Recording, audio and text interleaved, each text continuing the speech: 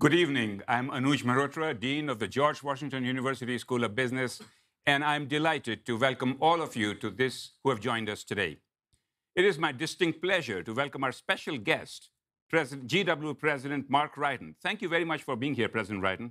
Well, I really appreciate the opportunity and seeing this short video of distinguished guests. I wonder why I'm here.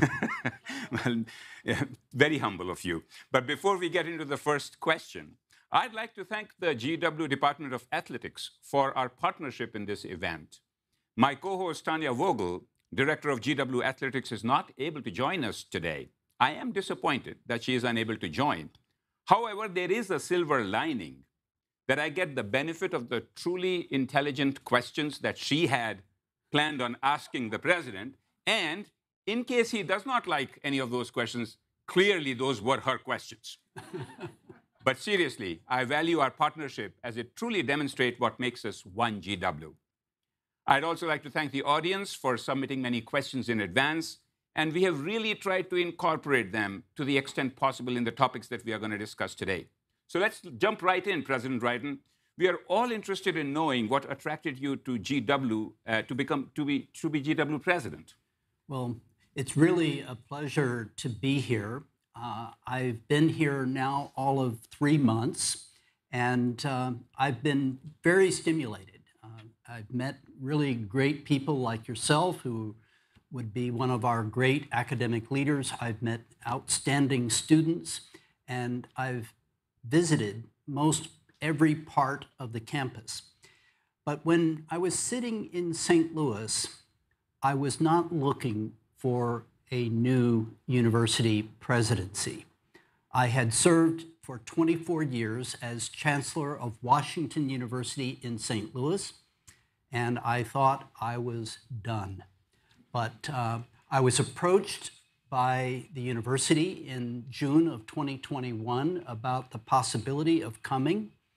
And I mentioned to my wife that I was being uh, courted by a university, and she said, No way. but then I told her it's Washington, D.C. And we have a daughter who is a distinguished alumna of this school of business, and she has two young daughters. She and her husband live here in the district, and when I shared this with my wife, she said, Let's do an adventure and we decided that if we had the opportunity, we would come. Very well. So you mentioned your enormous experience of 24 years being chancellor at St. Louis and before that, provost at MIT. So in terms of your experience of the three institutions now, the three months at GW, what is the DNA difference between these three institutions and how does that translate into your role as president? The great thing about American higher education is that each institution, though they would all say we educate, we do research, we provide service, and for those that have medical schools, we provide clinical care. But how we execute that mission is going to be very different. And each institution can develop its own programs and George Washington University has many unique and important programs that neither MIT nor Washington University in St. Louis would actually have. And of course, being a chemist, I'm proud that virtually every college and university in America has a chemistry department, and we do too here at George Washington University. But uh, we have many programs of real visibility and quality that uh, are not evident at other institutions. And I'm often saying that we're not striving to be a Xerox copy of Harvard or any other academic institution. We need to develop our own elements of uniqueness and build our quality and impact to serve the world. Uh, great. So, uh, President Wrighton, I've heard you, maybe from this, uh, I'll take the cue from what you were saying. I've heard you many times, or at least a couple of times, say that every institution, every university is centered around some central common pillars, whether they are to do with student or whether they are to do with the faculty research or infrastructure, et cetera. And every institution strives to be distinguished and to some degree distinguishable. And I struggled with that word yesterday, I remember. But what are some areas of distinction and distinguishability at GW that in, in your three months that you have been here, you are able to see? Well, distinguishable is important because America has many talented students, and no institution, no matter their quality, can actually accommodate all of the talented students. So I encourage distinguishability and distinction. And one of the schools that uh, has attracted my interest because I've spent a lot of time traveling internationally, building partnerships with academic institutions around the world, the Elliott School of International Affairs is extraordinarily important and I think relatively unique. Uh, of course, other institutions have programs related to international affairs, but we're in Washington, D.C. This could not be done in St. Louis, could not be done even in the great city of Chicago to the north of St. Louis or on the West Coast. We're in Washington, D.C., and taking advantage of our location uh, is very significant, and that adds distinguishability. Mm-hmm. It enables us to attract both students and faculty who would not otherwise think about this institution. And I found that to be a very important program. And I'm looking forward to learning more, uh, learning more uh, about other programs that add this element of distinction and distinguishability. Uh, I believe that we can take full advantage of being in Washington, D.C. I was involved in a program earlier today with the School of Media and Public Affairs with Frank Sesno, focusing on Planet Forward, an initiative that he started and one that is extremely important to many academic institutions. But we can do this uniquely well because we have policymakers, people who are contributing to the formulation of those policies, and we have the media. The media here are exceptional. And again, in a city like St. Louis, as great as it is, does not have a national media presence. Great. So uh, those are great points, President Wrighton. One of the new, exciting new initiatives, especially from my perspective as the Dean of the Business School, is really the Penn West Equity and Innovation District in DC, um, with GW as the potential anchor institution located right, uh, right at the edge of the Golden Triangle Business Improvement District. I know you have had lots of experience, both in St. Louis as well as in, in, in, in, in Cambridge. Um, about your experience with innovation districts and, and that, that have really that you have helped foster. Where do you see this innovation district go in the next two or three years if things go right for GW? I'm really excited about the prospect of encouraging innovation and entrepreneurship. I've met many talented students who have great ideas. Many faculty are at the forefront of their research um, making important contributions that could be developed into new enterprises. And in Cambridge, Massachusetts, near MIT, and at Washington University in St. Louis, near our School of Medicine, uh, we, in, we in developed uh, very important innovation districts. Each of those uh, settings is different than what we enjoy here. And I believe that we do have the potential to be the anchor institution. What's common about all these innovation districts, not just the three that we're talking about, is that each is uh, involving uh, a very important research university. And in St. Louis, we certainly partnered with other academic institutions and we have the potential to do that here in Washington, D.C. also. But I learned about this uh, potential interest uh, during the fall. I made uh, six trips about every two weeks in the fall after the public announcement that I would come here, and I was excited to find that there is an interest in this innovation district.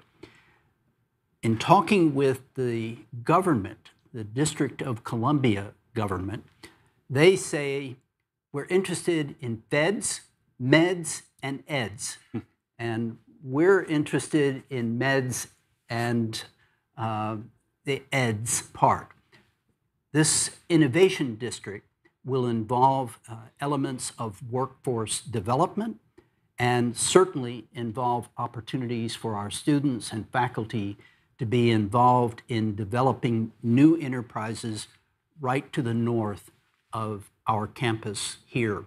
And I'm so excited that in talking with the academic leaders here, every one of our schools wants to be involved. And I think that's quite exceptional.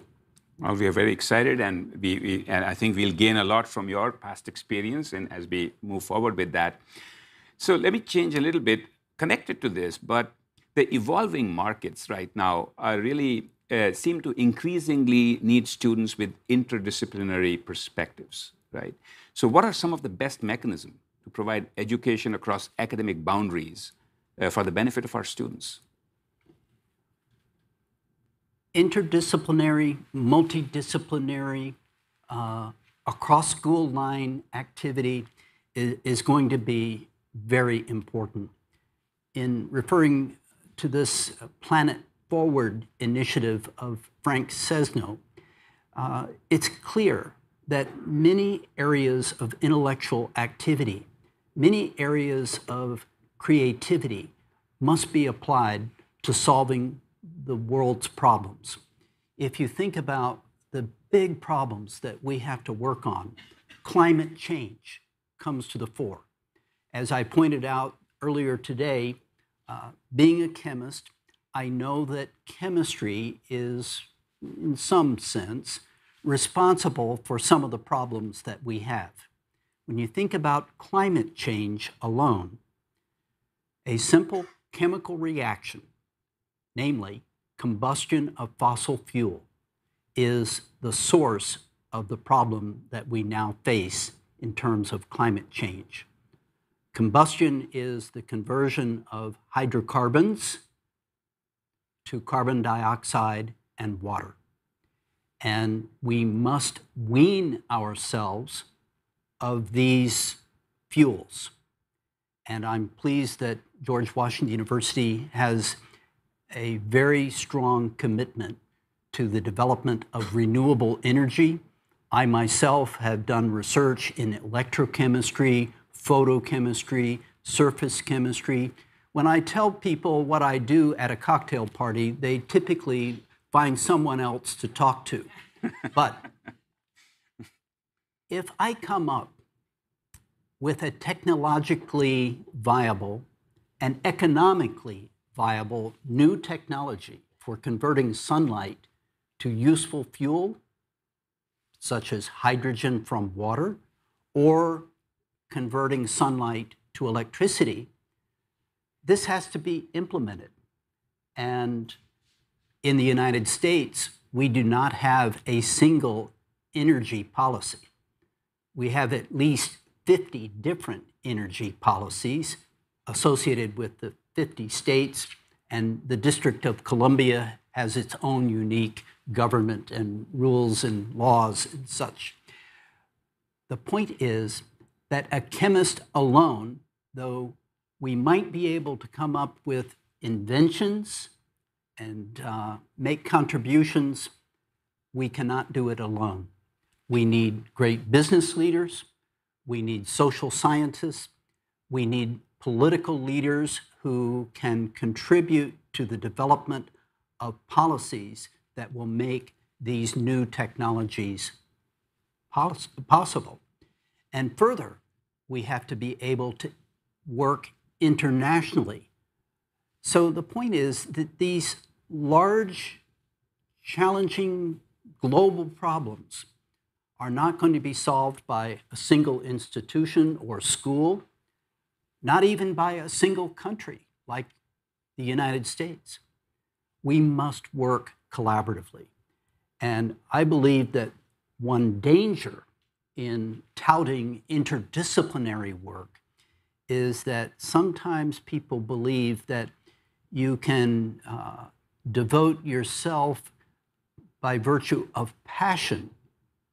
And what we need is people who are highly educated and have depth of understanding in disciplines and willing to work across disciplines.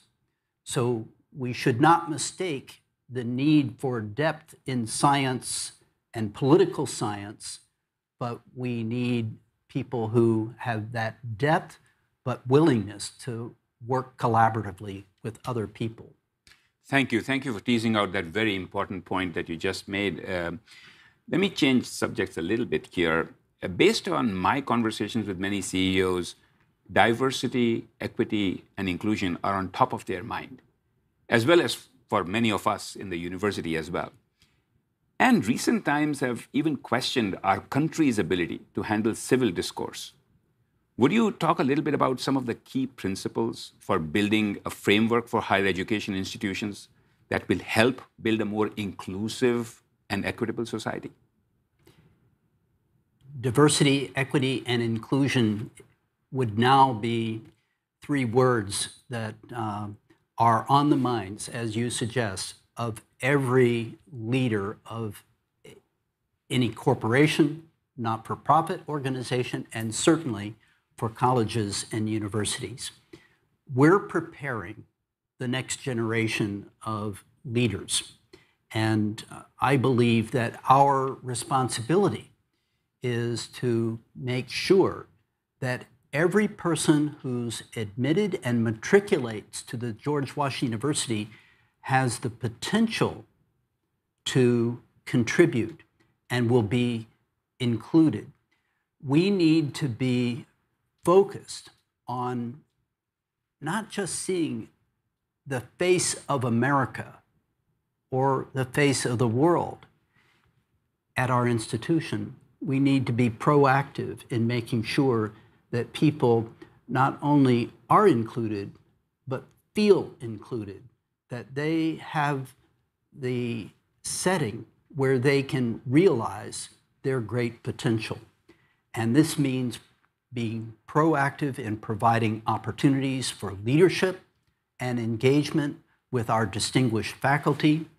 And I've been very impressed in coming here to see the incredible resolve of everyone, from the board chair to those who are in, in any hiring position in terms of this focus on diversity, equity, and inclusion, and working to provide a work environment for all of us that is conducive to fulfilling the potential that we have in our students, our staff, and with our faculty. One of the things that uh, really impresses me is how strong this commitment is at the university. And I believe that uh, people here are walking the talk, as is said, and I'm very impressed with the results. However, this is not something that you can take for granted. We're right now in the midst of recruiting the next class of undergraduates. Uh, they come from all over the nation, from all over the world. They will be diverse. They will have different backgrounds. And we need to make sure that as they come, they adopt and embrace the values of this institution. The final point I would like to make is that I say we need to have a setting where people can realize their potential. And that means providing, for example, scholarly activities for our students that enable them to be involved in creative work here. all of our students have the ability to learn anything that is already known. In, in effect, they've demonstrated that. But what's exciting about being at a research university is that our students can be involved in creating new knowledge that can be valuable to society. And this is why, going back to the Innovation District, why I'm so excited that we're dedicated there. And finally, our potential should grow as we move through the education and research opportunities. So the students who come are extremely talented. They already have great track records of achievement, but through the education and research experiences, I hope that they leave with even greater potential to contribute to society. Boy, that was very compelling. And I think I'm learning uh, a few things here right now about uh, higher education myself from you. So let me, let, me, let me ask you a different question. We had an amazing day yesterday. Uh, Giving Day was GW Giving Day. This was the second um, GW Giving Day, and we beat our goals by a margin. For students, alumni, faculty, and staff who are present here today hearing you, tell us why uh, philanthropy is important for GW's success philanthropy uh, is critical, in my view, uh, for institutions of higher education. And this is not unique to private research universities like the George Washington University. This applies also to public institutions. Philanthropy in America is relatively unique, almost completely unique to the United States. I'll tell you a short story. A CEO of a major company headquartered in St. Louis, uh, having business globally, was asked to be on an advisory board for Oxford. And um, in the course of that engagement, uh, he was asked to help them raise money. And he was able to raise money, but in the United States for Oxford University not so much in the United Kingdom. the resources provided by philanthropies enable us to recruit talented students through scholarship support, enable us to have great facilities uh, like our School of Business and like the uh, Science and Engineering Hall and like the Milken Institute for uh, Public Health. These are great facilities and philanthropic support that provides capital is very important. We have many capital needs here that cannot be fulfilled with tuition revenue alone. So philanthropy is very important. And finally, one of the things that gives me uh, greatest reward is when I can go to a dean or even to a professor and say, I have a donor who has made a commitment to endow a new professorship. The endowed professorship is a way to recognize an individual for significant achievement and to support that individual in terms of education and scholarly contributions. And that is a very important gift that uh, can energize certainly an individual and a school as they aspire to build a very strong faculty. Students, faculty, and facilities along with really important programs, is what a great university is all about. George Washington University has these in significant measure, but I always say that the best can become better, and philanthropists help us do that. Great. So I think we are, uh, you know, we still may be able to squeeze in a couple more questions, and I do want to ask you a couple of questions that students have submitted from the perspectives of you being a leader. So a lot of our students, for example, work on group projects, they work on cases, and they are faced constantly in these kind of things where they have very compelling but conflicting sides. Even myself, when I was the, when I was taking on an administrative role, my department chair, I went to him and asked him, "What? How do I make decisions?" And he said, "The key, Anuj, that you have to remember is that almost every issue has at least two sides, and the only word that is important there is at least." So I'm sure you are faced with decisions where they are very compelling arguments and they are conflicting. So tell us, walk us through how you are able to make decisions when all of these conflicting arguments are there? Well, I think the first thing that you need to realize is that people come forward with ideas with considerable passion and knowledge. And that combination is often extremely compelling. And I'm sure as a dean, you face what I faced as a department chair as a provost and as a chancellor and now president. We have many people who have great ideas.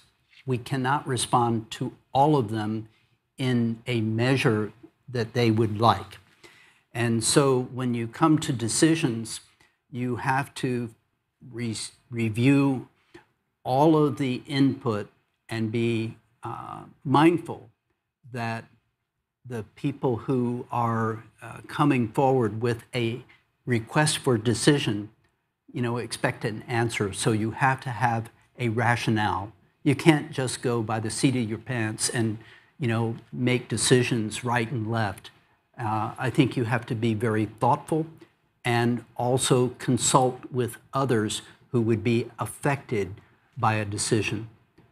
And the overarching thought that I have in terms of decision making is to do so uh, with you know the institution in mind. What is going to be best for the institution? Uh, and we need to conduct ourselves with a high commitment to ethics.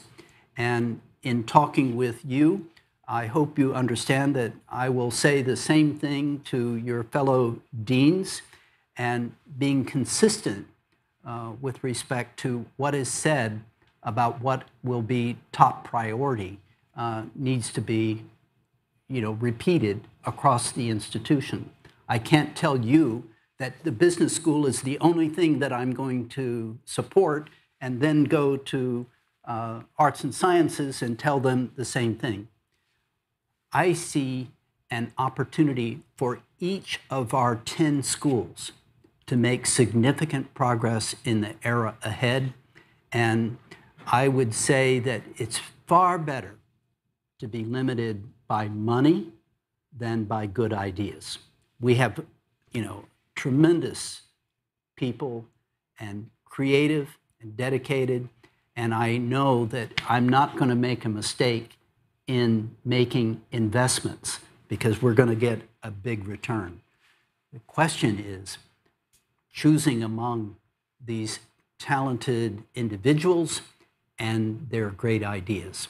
And we're working together, uh, the provost, Chris Bracey, and I, and the 10 school deans are beginning to work together to identify the priorities that we will embrace as we look ahead. I'm very excited about uh, the opportunity to interact with such a great group of people. So you may have consistent message, but business school is still your favorite after your daughter is an alum of the business school, President Wrighton. Uh, I know we are running uh, almost out of time, but I do want to ask one other question that the student had posed um, and, and, and wanted to know, tell us something personal about you that we may not know, that you are okay to share. So that's your final question for the evening, President Wrighton. Well, some of you already know that I have a dog. I also have a cat, and I, I called the cat Professor. And my wife and daughter uh, have insisted that the name is Maestro, but I prevail in, in, in the house in terms of I'm up early and I take the dog for a walk and I take the professor and give the cat the food. So I have a commanding situation. But one personal fact that uh, always sticks with me when people ask, you know, what, what personal thing that people do not know about you? I played Little League Baseball. Tanya Vogel is the director of athletics. I'm very pleased to be able to be in her home here. I played Little League Baseball. I started right handed, and then in the offseason, I turned to left handed. And I was a pitcher and first baseman. I once uh, struck out 18 batters in a six inning game, Wow. and I lost the game because I hit them or walked them. Well, our time has run out for questions. However, for those of you who are in person here, please stay around for the reception that follows immediately when this uh, session ends. Uh, meet President Wrighton and, and give, ha- ask him more questions when you network with him. Thank you, President Wrighton, again, very much for joining us today. Thank it's you. been such a pleasure. having Great you to be with you. Thank, Thank you very much. Thank you. I also want to thank all of you in person, as well as those of you who have joined us online. And of course, if you are in person, I invite you to join us for a reception. And, and next week, I hope to see you at George Talks Business Session with Inderpal Bhandari, Global Chief Data Officer at IBM. We look forward to this conversation and hope you can join us then again. Until then, goodbye. Thank you.